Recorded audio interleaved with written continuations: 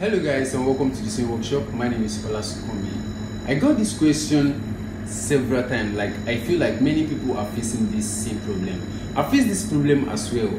Like it's crazy. The rumbling on the shoulder when you make a senator. So I've decided to make a video that that points out that particular part when doing the cutting. The problem is basically from the cutting aspect. So I decided to make this video so that it can be like a guideline for you. And i am 100% sure that this video is going to solve your problem. From the cutting aspect of the of the of the armhole straight to the cutting of the sleeve itself. So i hope this video will help you if you're having the same problem. I'm going to show i'm going to post a picture here that actually show the exact problem i'm talking about. And if you want to get a better result i'm going to post a picture here that's going to make your um, your traditional your senator outfit look a, a much like this if you try to follow the video. So that's about it and let's get straight into the tutorial. Hello guys. So welcome. So here i have the i already cut out this thing. In order to avoid those rumbling on the armhole around here i will show you what i usually do. This is the two this is the back and this is the front. If you have seen my video before this is how i used to cut either my senator or my shirt i double cut i don't cut separately. So here this your shoulder slant actually matter a lot. If you're sewing for an adult like 20 upward 20 25 30 40 make sure you're slanting your shoulder at least by 3 a minimum of 2.5 inch. Or if you're sewing for maybe a teenager you can go for like 2 inch 2.5 depending on how broad their shoulder is. But here i'll be slanting them by 3 inch. This actually play a major major role in the rumbling of your shoulder.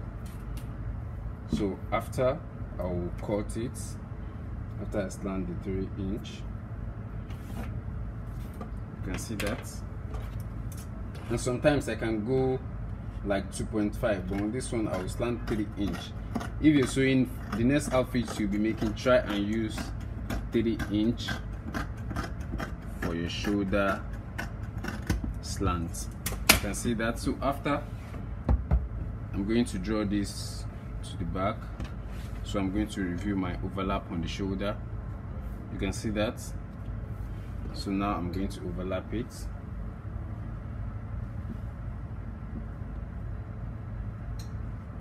going to overlap by just one inch.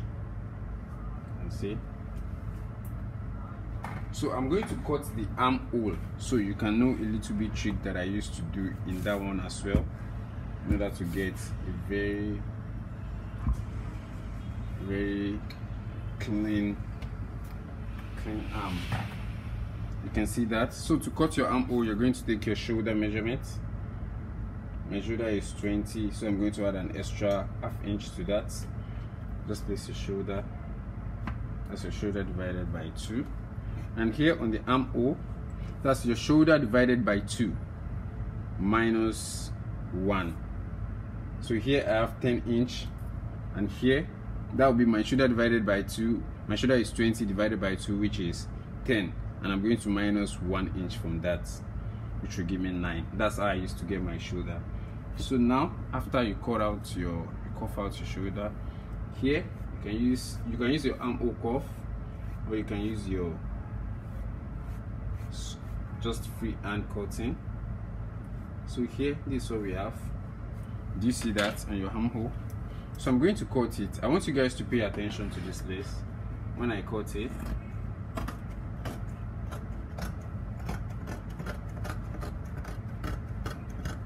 can see that. After I cut my armhole I'm going to deepen this side a little bit maybe like half of an inch. Half of an inch. So I'm going to cut this half of an inch. You can see that. So here I'm going to only cut out the front part so I can open this up cut out the front part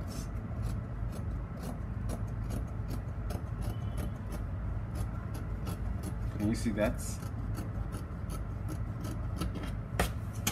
so you, I believe you can see that. So I already cut out the front part. You see this one is deep deeper than this. So the next thing I'll be doing so this is all about when you're cutting the bodice the bodice part. So when you're cutting the sleeve as well so here is my sleeve. And this is two as normal the normal way you're going to fold your sleeve I have two sleeve right here. You can see. So I'm going to fix it like this. So here your sleeve has to be dipping at least a minimum of 5 inch. 5 inch or let me just go 6 inch. You can see. So this where we're going to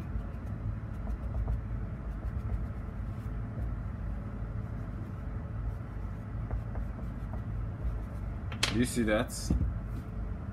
A minimum of six minimum of five inch. It has to be deep. A minimum of five inch. So here i can cut and cut my sleeve.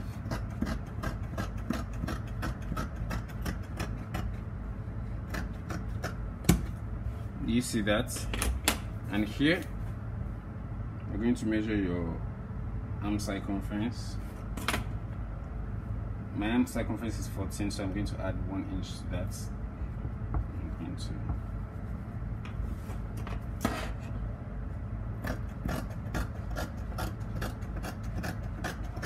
So I want you to pay attention to what I'm about to do now as well.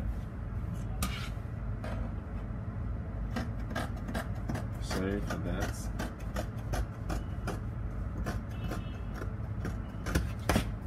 So here is our sleeve and here as well I'm going to cut in half of an inch. You can see that.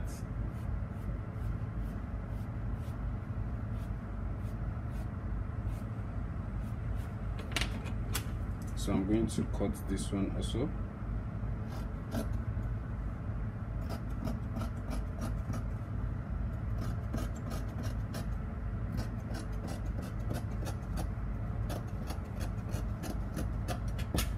can see that so this is our basic sleeve pattern as simple as that this one is deep and this one is a little bit outside i will explain why this is for you so when you measure your armhole, make sure it's actually fitting your arm circumference.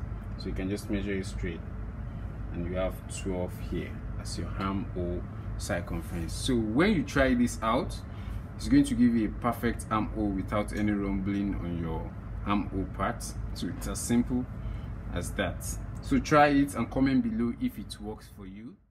Also, just a note, don't forget this this short part will be the one in the front let me take in this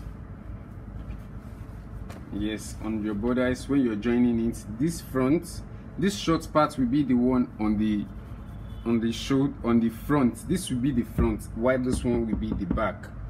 So automatically when we cut this in two definitely one will be left and one will be right. So when you open this and you're about to fix your let me open it together. You can see what it looks like. And when you're fixing you can see this one will definitely fall to the you can see that this one will definitely fall to the to the to the left while this one will definitely fall to the right. That's why we cut them together. You can see that. So it's quite simple. I hope it helps you guys and that is about it. Enjoy the video and enjoy yourself